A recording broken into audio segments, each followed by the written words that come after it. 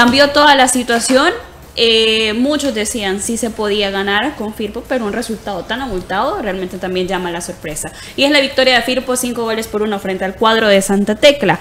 Los tantos de Firpo, eh, de Christopher Galeas, el platanito que anotó doblete, Steven Vázquez, Carlos Ortiz y Jomal Williams, Roberto González descontó para el cuadro de Santa Tecla.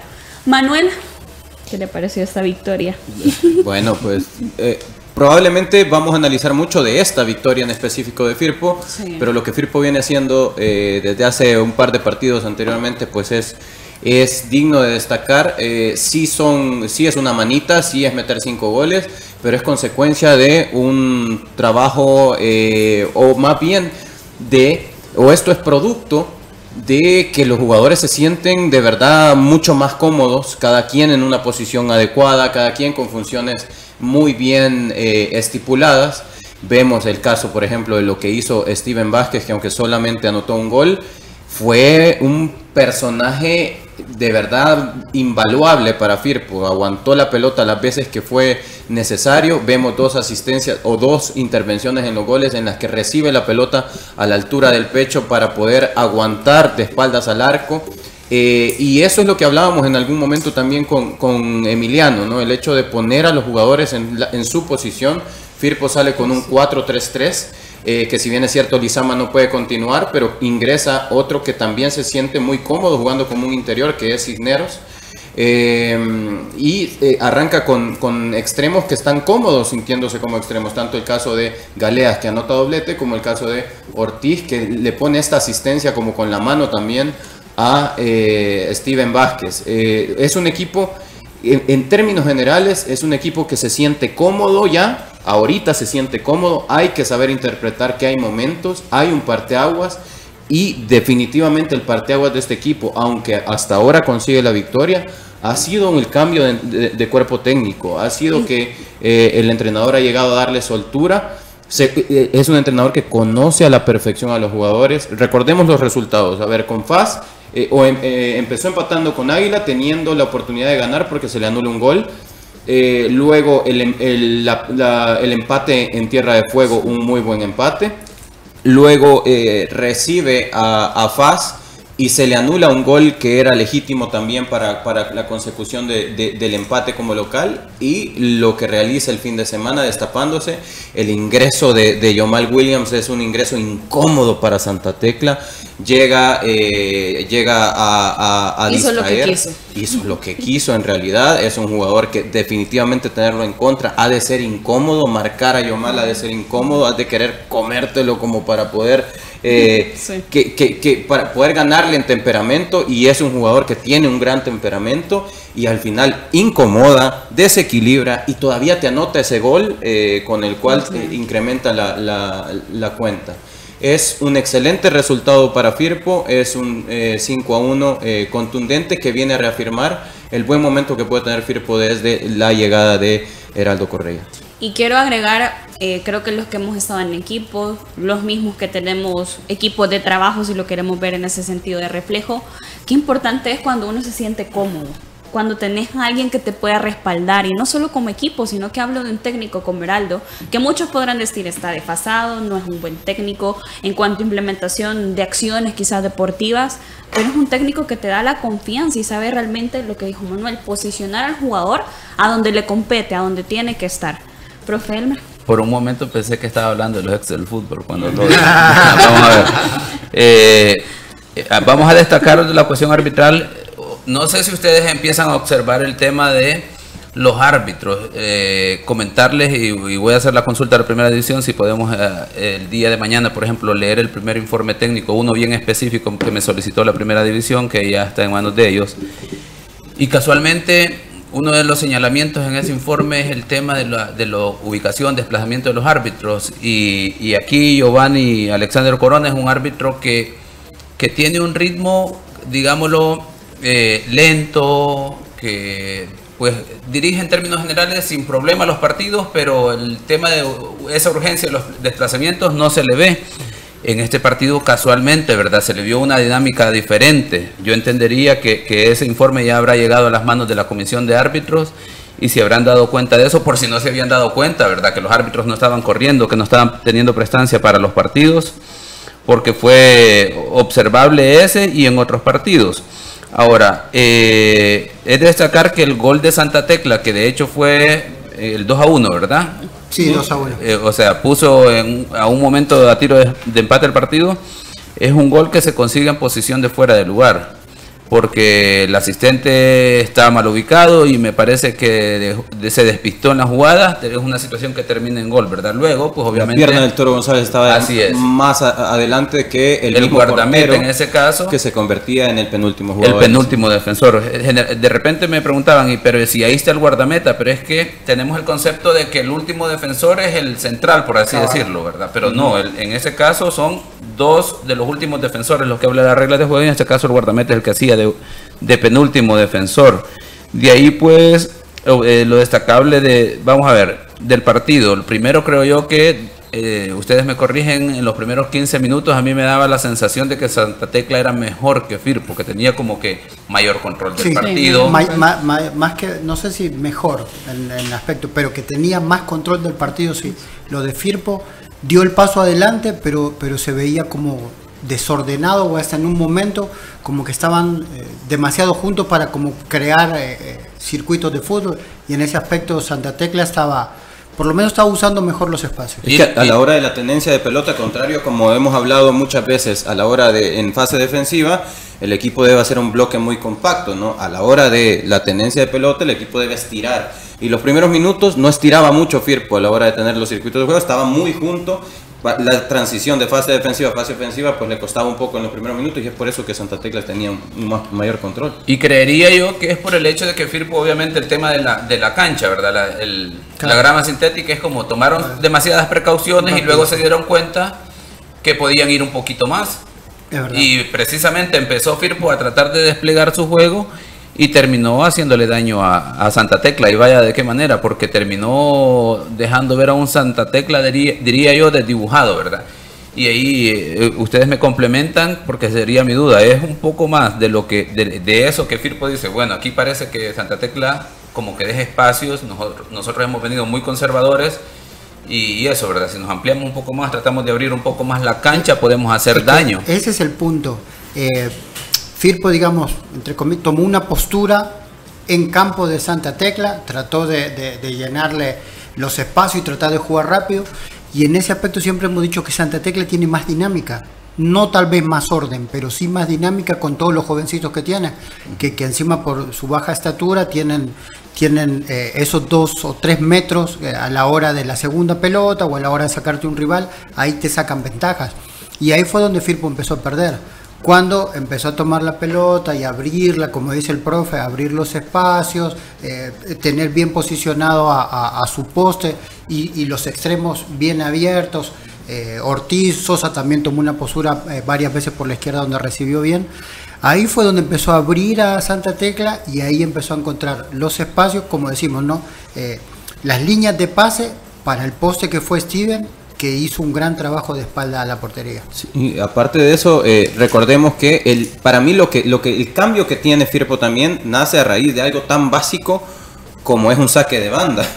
Porque el partido estaba parejo, como bien menciona, o hasta cierto punto incluso tenía un poquito más de posesión de pelota Santa Tecla, hasta que William Canales toma la pelota rápido y juega rápido con un Helio Castro que estaba desentendido de la jugada, peleando acerca de, peleando el, el, saque, de banda y eh, la pelota le llueve por la espalda para que un Steven Vázquez, aquí lo vemos, esta es la jugada en la que se aviva William Canales, Steven Vázquez recibe bien de espalda y juega para eh, la llegada de Ortiz por derecha que hace este buen centro y eh, Galeaz que le gana muy bien la espalda a Walter Torres se me hace que ese profesor, ese es el parteaguas del partido en donde Firpo le da la, confianza para comenzar a tener la pelota nuevamente. Ahora agregaría yo que lo destacable de Firpo es el papel de Steven Vázquez, no solo en este partido, por ejemplo, el otro partido que contra, contra, Faz, que me parece que eh, contra Faz se sacrificó un poco más, pues obviamente, ¿verdad? La, media cancha que tiene Faz y, la defensa, pues obviamente no, no da tantos espacios como como lo generó en este caso Santa Tecla. Y luego, sí, eh, me parece que eh, por esos mismos espacios y la poca presión a nivel de la media cancha y defensa que genera Santa Tecla, esa función de, enganche la hizo más arriba y que, bueno, consecuencia de eso, los dos goles que, termina dando la asistencia los hace dentro del área, ¿verdad? Porque tiene ya esa comodidad de estar ahí porque no tiene, tiene, no tiene tanta presión y más espacio. Es su hábitat. Y, luego me parece que, no sé si, si será una... Entenderé yo que sí, ¿verdad? Pero me parece que en los últimos, ¿qué será? 30 minutos, como que ya de manera estratégica lo adelantan. Y obviamente por la cuestión de edad, la fortaleza física que tiene, termina de centro delantero en los, en los segundos tiempos y termina haciendo daño o sea, a los equipos, ¿verdad? Lo hizo contra el mismo Faj y el gol que destacaba Manuel, que de la forma en que lo hace, y el gol que realiza ahora contra Santa Tecla, ¿verdad? O sea, yo creo que más allá de los que quieran hablar del tema de que Steven Vázquez, lo que se perdió Águila, creo yo que eso ya queda en un segundo, plano, es de destacar las virtudes del jugador en sí, ¿verdad? Está destacando de manera muy interesante. Pero sin duda, profe, que eso les ha de tener una espinita, lo de Ortiz y lo, también lo de Steven, porque son dos de los jugadores que vienen de reserva y que Águila no los quiso. Ahora, el, eh, Steven es un jugador usuluteco, es un jugador de la zona, es un jugador, si no me equivoco, es tabudo, si no me equivoco, es de Santa Elena. Y este y siempre él fue un pampero más. he visto sus, sus, publicaciones y sus fotos desde, pequeño y encontró un espacio para tener eh, eh, participación en reserva en Club Deportivo Águila. Ahora, eh, yo creería que Águila pudo haber hecho un poco más incluso para poder retenerlo, sabiendo, lo, es que no es solamente es un diamante en bruto para eh, un equipo de primera división, sino que es el prototipo, como yo lo he mencionado, yo, a mí se me hace que es el prototipo delantero que necesitamos, no es la solución actualmente, y repito, porque no hay que sobrecargar de presión a, un muchacho que viene en crecimiento, pero es el prototipo ideal para que a medida vaya madurando, eventualmente se convierta en el centro delantero de la selección. Sí, definitivamente. Profe, ahora ya hablamos de FIRP, pero hay que ver la otra cara de la moneda también. Lo de Santa Tecla. Y una cuestión de, puntería, ¿no? Creo que, es, una contraposición interesante. Analizando los partidos anteriores, el último partido que gana Santa Tecla se lo gana Metapan. Vamos a ver, ¿por qué digo esto? Casualmente es el partido que no juega su central, que yo creo que el mexicano es un muy buen central, solo que lo expulsan demasiado y se concentra en, otras situaciones eh, personales, no de fútbol, sino que protesta demasiado. Y justo y a último momento, el otro mexicano que es el 9 no jugó. Tuvo que debutar Diego Lemus en la saga y adelante eh, Brian Amaya. Y ese partido lo ganan. Eh, lo ganaron eh, ajustado 1 a 0, pero, pero obviamente Metapam mostró otra cosa de lo que mostró el fin de semana. Esa dinámica que decimos de los chicos encerró a, su número 10, como decíamos a Gregory, y en este caso Firpo eh, se podría decir que, la salida de, de, Lizama le ayudó a acomodarse en la cancha y pudo sacarle rédito. ¿Pero por qué? Porque los jugadores que, son protagonistas en llevar la pelota como Sosa tuvieron un acompañamiento. Y lo jugaba con Galea y Galea eh, creaba situaciones. Jugaba con Steven Vázquez, Steven Vázquez ganaba. Jugaba con Ortiz por la banda y Ortiz ganaba. Y, ni hablar cuando entra Yomal también. Cabal, y encima tenés el respaldo de... Eh, primero Rugama y después Cineros, que es un, ida y vuelta. Y a la hora de hacer el ida y vuelta con los chicos de, Santa Tecla, eh, no tuvieron las, las, ventajas que sí le había dado eh, Metapan hacia dos fechas atrás o diez días atrás. Entonces, creo que, es, es, raro, ¿no? En teoría, con un equipo más completo, más completo con mayor fuerza, con mayor jerarquía, eh, Santa Tecla tal vez deja su peor cara. Porque a mí no me parece que jugó un partido malo o, el partido no estaba para cinco goles de diferencia. Se lleva el peor castigo. Pero fueron, fueron en, los, momentos del partido, eh, en ese aspecto Firpo fue muy punzante, ¿no? Fue muy vivo. En el primer, como dicen, ¿no? Canales se apura en, el lateral. Steven Vázquez aguanta bien la pelota, tira un buen centro. Eh, Galeas hace bien la diagonal y llega a cerrar y en el, en el segundo gol igual, un buen centro de Ortiz, Galeas por el segundo palo, Steven otra vez gana de espaldas y espera a su compañero y ahí sacan una diferencia que, que, era difícil de aguantar porque Santa Tecla no encontraba los espacios. Y a Firpo le había sacado la pelota, se había acomodado sobre todo en el equilibrio de la tenencia, ¿no? Por, por lo que decimos de Cisnero, que con Cisnero no arriesga tanto, pero te da más equilibrio, entonces en la transición Santa Tecla no podía salir de eso, tuvo que pelotear mucho. Y en, y en el dividir las jugadas eh, siempre tuvo un Firpo eh, atento, no digo que fue ni más rápido ni que corrió más, sino que más atento, mejor parado, con la tranquilidad de tener el resultado a su favor y, cuando eh, después del gol del, de, del Toro González, cuando el partido eh, parecía que se venía el empate, mete a Yomal Williams y ahí Santa Tecla se parte completamente, pero es una cuestión normal, ¿no? Los volantes ofensivos tratando de buscar el empate y Yomal allá ganando todas las transiciones y haciendo que, el partido, que el equipo rival se partiera y ahí la ganancia siempre la tuvo Firpo por, el orden y por poder manejar el resultado.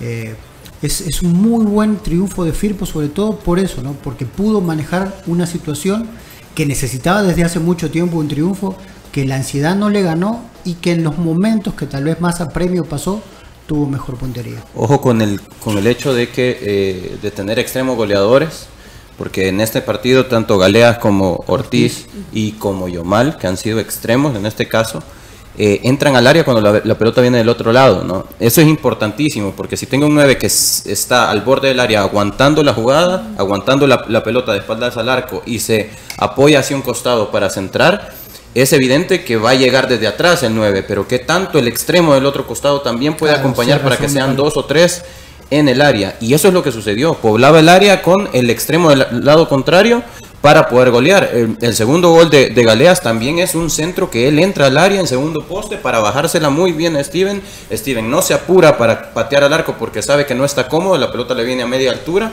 Aguanta muy bien, Helio le deja una patada desde atrás a la altura de la espalda y aún así aguanta y se la pone pero rodadita para que defina Galeas. Me imagino que son ejercicios de práctica que se hacen en los entrenamientos, las diagonales que tienen que hacer los extremos. Eso definitivamente en llegada, cuando estás entrenando llegada, cuando tiras una pelota para el lateral, es, probablemente hay conos, en, en, en, me lo imagino perfectamente, hay conos en el entreno y eh, salen del otro costado tanto un extremo como el centro delantero para poblar el área eh, a la hora del, del, del centro. Bueno, vamos a hacer una pausa. Al regresar vamos a continuar hablando de los equipos de la primera división. ¿Hace frío en la cima, bro? Hace frío, parece que hace frío en el norte, ¿no? Por, hace frío en Chalate, por, bueno. por, La Palma. bueno, también solo en Super Selectos. El campeón, el campeón de invierno. El campeón de invierno. Solo en Super Selectos.